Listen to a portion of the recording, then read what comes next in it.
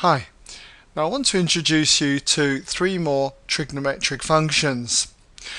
Suppose we have some angle theta, it could be angle x, it could be anything you like, but if I just said the angle was theta, then the first trig function here is secant theta.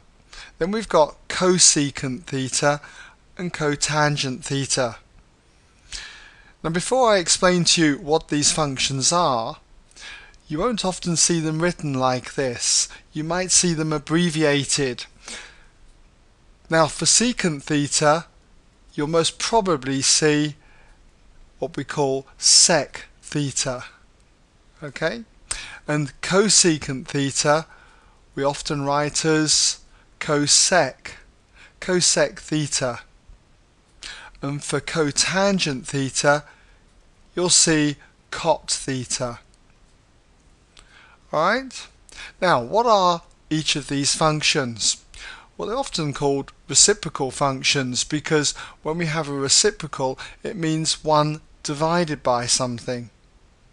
And in this case, when it's sec theta or secant theta, you're doing the reciprocal of cos theta. In other words, what we have is 1 divided by cos theta.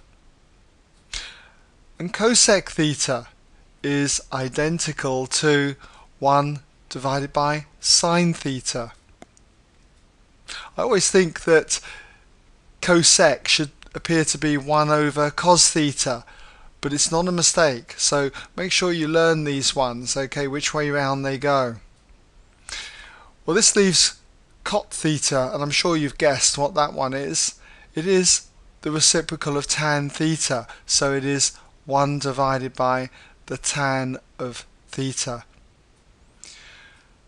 Now, if you were to try and work out some of these functions for a particular angle, like for instance the sec of say 60 degrees.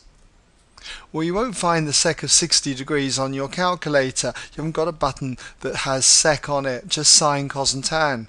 So obviously what you're going to need to do is to rewrite the sec function as 1 divided by cosine and in this case it's 60 degrees. So that'd be 1 divided by the cosine of 60 degrees.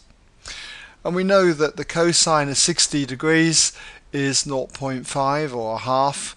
And when you do 1 divided by a half you get 2 so you could easily use your calculator to work out sec, cosec and cot of any angle